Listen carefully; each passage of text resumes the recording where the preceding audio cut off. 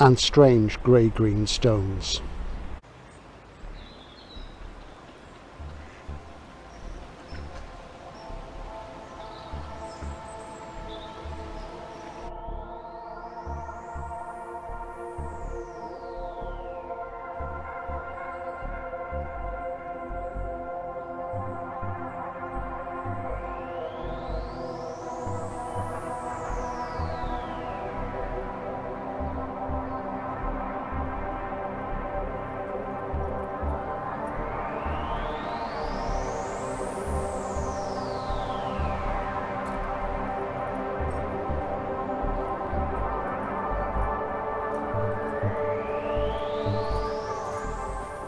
Hello and welcome to Outlaw Bookseller with me, Stephen E. Andrews, writer, bookseller, collector, general all-round good guy and culture vulture.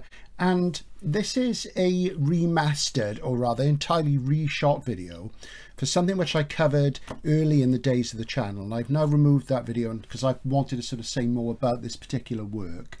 Technically, it's going to be the second video in a series I'm going to do about the work of one of my favourite writers, Colin Wilson, whose name is popping up more and more on booktube as younger people discover his unique genius. He has a massive oeuvre. I've read at least 70 books by him. He's dead sadly now. I met him once, which was a fantastic experience. And I reshot some footage in Wales recently to really showcase one particular story. It is a difficult story to get, but it's very, very interesting, and I urge you to get out there and find it. So this is Colin Wilson, The Return of the Lloigor.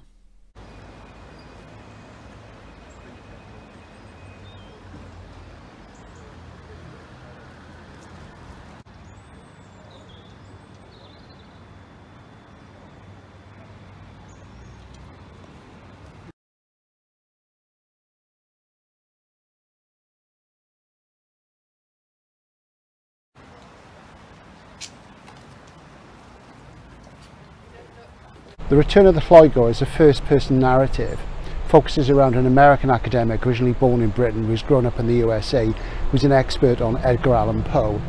He makes a discovery in the Voynich manuscript, which is a real mysterious book from many hundreds of years ago.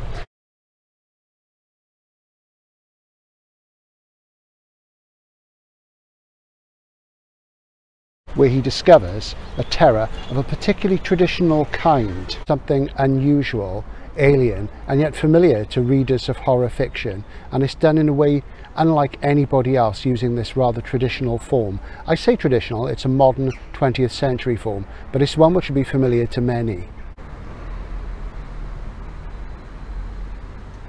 Much of the narrative is set in this part of southeast Wales, in Monmouth, Usk, the Black Mountains, and there's a gradual unveiling of the horror at the heart of the book. This part of Wales, of course, has a strong association with horror fiction due to the fact that Arthur Machen was born in Caerleon, lived not far from here. What is the modern traditional template that Wilson uses in this narrative? H.P. Lovecraft's Cthulhu mythos.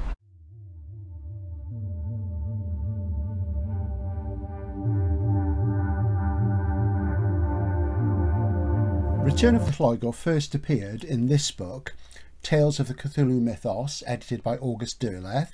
This is a Grafton edition from the late 80s, which only had one printing then, and I think it's the only UK edition there's ever been in paperback. The Arkham House original was from the late 60s, maybe about 1970, and it's quite uncommon. Um, it's usually around about £35 if you can find it and in really good condition it's a lot more. Um, this was a, a, series of mythos stories by different hands, including one by Lovecraft, and mostly the guys from the early days of the mythos. But there is one story in here which I think is the best mythos story I've ever read, bar none, and that is Return of the Lloigor. Now, Return of the Lloigor was updated, revised slightly and reissued a few years later in Village Press in this little chapbook. This is the only copy I've ever seen. I've had it for a very, very long time. I bought the Grafton one when it came out. I've had this for at least 30 years. And let me just see the publication date in here. Um, first published in 69 in Tales of Cthulhu Mythos and separate and revised edition 1974 Village Press. And as I say, it says revised, but I've never noticed many differences. So perhaps it's just sort of punctuation, copy editing and what have you.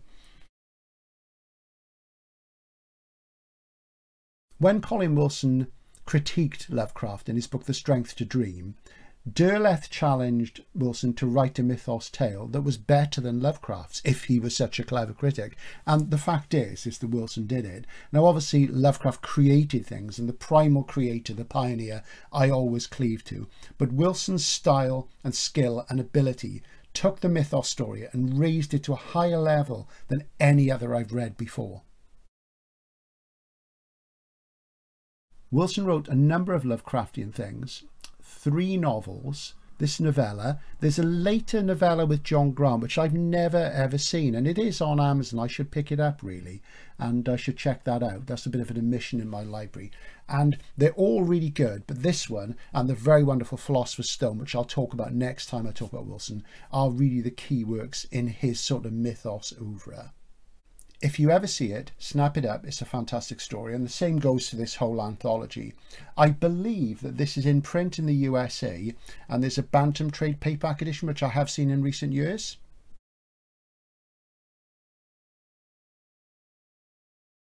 And that's an example of Wilson's genius, really. Because of his extensive reading and his work in philosophy, he's able to take popular forms like science fiction and horror and put his own ideas and way of thinking into them, which separates them from the crowd. In the narrative, our protagonist identifies the author of the Voynich manuscript as possibly Roger Bacon, the heretical Christian proto-scientist of James Blish's Dr. Mirabilis.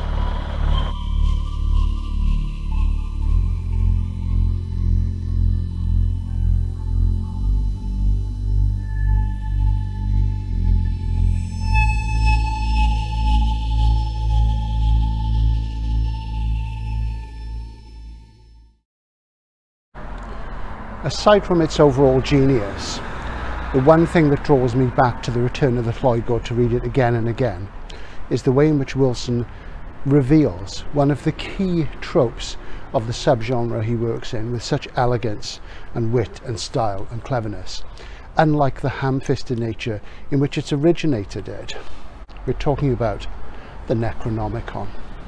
Once at his destination in rural Wales, our protagonist falls in with Colonel Urquhart, an Englishman and Fortean with bizarre theories about Lemuria, Mu, Atlantis.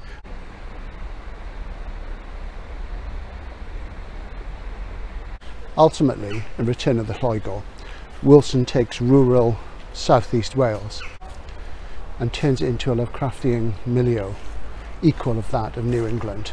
After an encounter by the waterside underneath a bridge, our hero becomes convinced of the reality of the power of the Lloigor and their human instruments.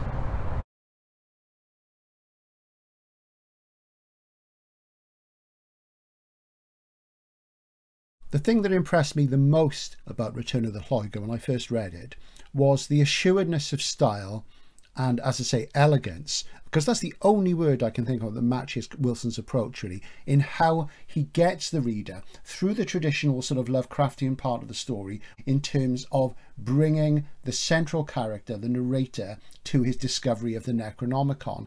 And it's done with such verve and elegance and surety of style that I didn't see it coming. And even though that's a very, very common thing in mythos tales by Lovecraft and by other hands, Wilson just does it better than anybody. And it seems entirely natural, unforced, unpredictable. And when you finally get to that point, you feel a real shudder. It, I can feel my skin rising now thinking about that moment. And as I said, I've read this many, many times.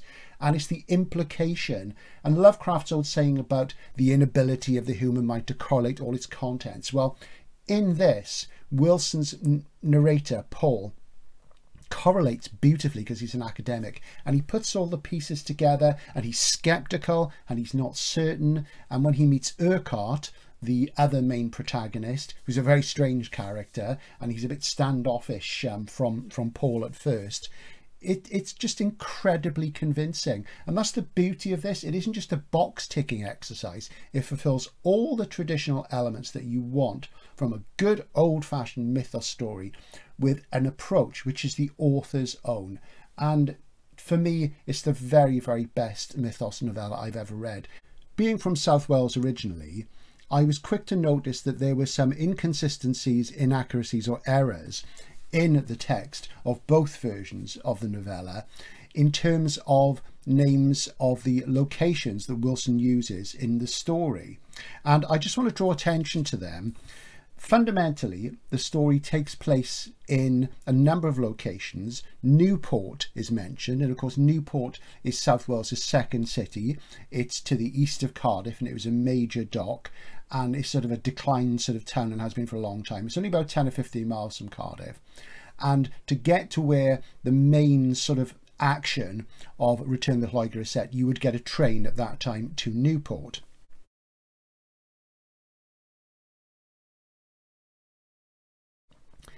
In the story, the nomenclature goes wrong because at one point it's referred to as Newport and another time as Southport. Now this dual naming of Newport and Southport was either a error in copy editing and Wilson meant to correct it and to use Southport as a fictional synonym for Newport because of course there isn't a Southport in South Wales. Southport the is in um, let's see, I think it's at the Wirral. I think it's Liverpool area. It's also possible, of course, that it was part of Wilson's sort of trickster aspect in telling the story, and the character takes a train to Newport from London when he's on his quest, and then takes a train from Newport to Caerleon. Caerleon is duplicated in the story and also comes up under the name Melincourt. And this is where most of the action takes place. It's a small country town. Melincourt is a synonym, a fictional synonym for Caerleon. And of course, it suggests Merlin's court. Merlin in Welsh was Merddin. And it is reputed that there was an Arthurian court at Caerleon. And that goes way, way, way back. So it's the implication of something Arthurian there. And also Wilson chose Caerleon, Melincourt in the story, because Arthur Machen was born there and grew up in that area. And that's what draws the narrator, Paul, to that area initially.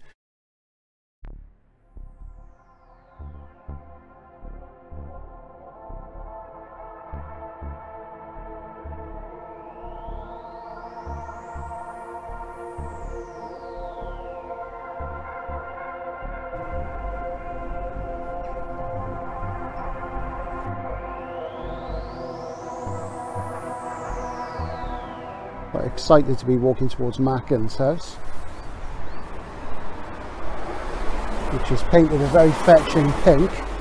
You'd have thought that, um, oh, Machen Interiors, hmm, interesting, it's obviously a business now. I was under the impression that it was a museum these days. And um, as you see, it's pink. You'd have thought that a Fanda Sical yellow would probably be more appropriate. Author of the novel of the Black Seal, the great god Pan, the white people, inspiration for everybody from M. John Harrison to H.P. Lovecraft. It's the Machen connection that draws Paul, the narrator's story, to Caerleon because Machen was an influence on Lovecraft. And as the narrator is an academic who is a Poe expert and Chatterton expert, he has come across Machen, but Lovecraft is too sort of recent for him because he's a bit of an antiquary, which again is a kind of M.R. James sort of thing. So he's a fusty old sort of academic guy who doesn't bother with anything too modern.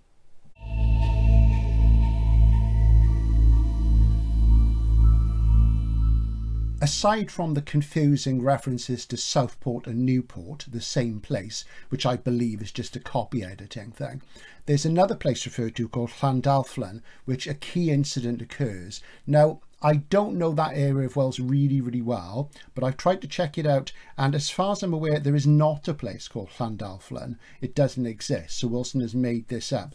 Other than that, his geography of that part of South Wales and the way Paul, the character, explores South Wales in a car is really, really good. And all the directions and the east, the south, the west, everything is absolutely correct. So perhaps there's a little bit of playfulness in there as well, because it is a playful book in some respects.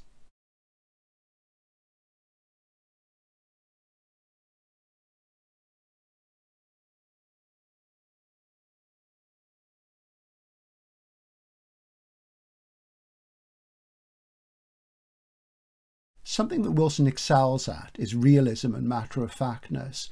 And there's an awful lot of incidental detail in the story names of places, of people that the character knows, little details, and sometimes characters are only referred to once, his acquaintances and fellow academics referred to once. But it creates this sort of picture of real veracity. A world is built up around this character, which is entirely convincing. And it fits beautifully with Wilson's very clear, pellucid prose and his strength at making arguments. And it's absolutely fascinating the way he delineates the character through these connections. It's the very elegance with which he approaches the mythos, which is what makes Return of the Lloigor so special.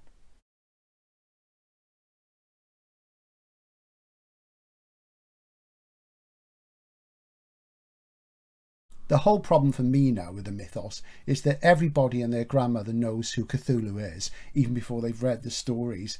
And it's kind of this focus on that which is part of the problem and the subtlety is is lost. And yeah lovecraft wasn't very subtle. A lot of his copyists weren't very subtle. But wilson is. And in taking this ultra material these weird stories and putting it into a frame using this character and his profession and how he digs into and uncovers what's really going on in the world of the mythos is just absolutely amazing. It's sublime.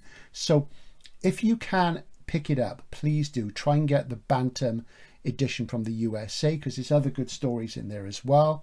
And I have mentioned this before somewhere. I don't know, I've got it somewhere. There was a new Tales of Cthulhu mythos, which has got such wonderful things in it by people like Stephen King um, and lots of other less familiar names. And there's some great stories in that as well. So try and get Tales of Cthulhu mythos so you can read The Return of the Lloigor. So there you go. I've set you off on your own trail of Cthulhu now in search of an obscure story and a difficult to obtain book. But I hope you have fun tracking it down. And when you pick it up and read it, wait for that moment when you discover the way to the Necronomicon. This is Stephen E. Andrews, Outlaw Bookseller. Please subscribe, like, comment, and I'll see you soon. Bye for now.